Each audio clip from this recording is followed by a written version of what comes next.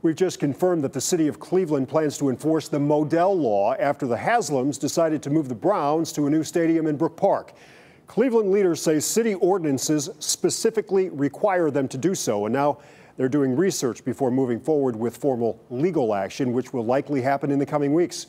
Ohio's Modell law, which, among other things, requires a team owner to a city or a group of people a chance to buy the team before moving it, was created after former Browns owner Art Modell moved the team to Baltimore in the 90s.